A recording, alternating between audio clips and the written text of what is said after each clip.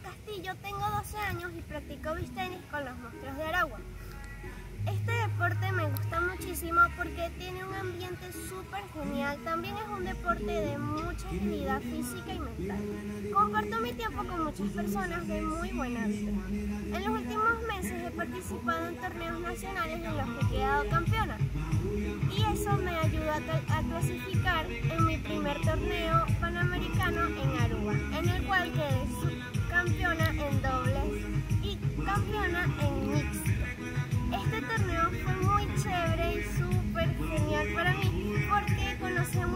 personas de varios países y sé que este es solo el comienzo, así que.